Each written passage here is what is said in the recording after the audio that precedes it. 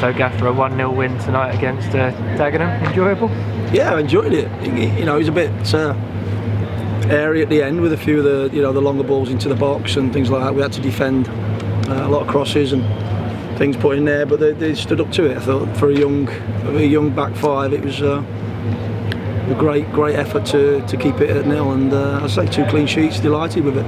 Absolutely delighted. If you go back to, to Saturday, obviously there wasn't much time to prepare for, for tonight's fixtures. What was the, the thinking behind the starting eleven this evening?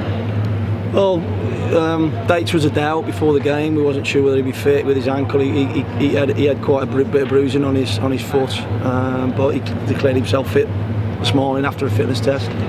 Um, so we brought him back in. Originally we planned without him, but we brought him back in. And uh, going with him and Bocco just gave us a little bit more attacking threat, I thought.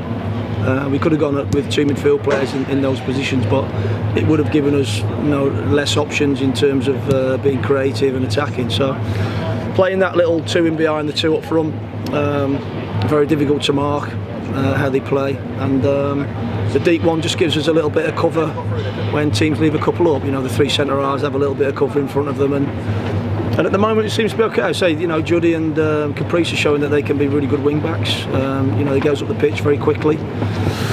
Juddy, you know, he's, he's a little bit of his quality at the end, but um, you know, defensively he's very solid um, and probably defends better than Jake, where Jake attacks better than Juddy. So it's a nice little balance there.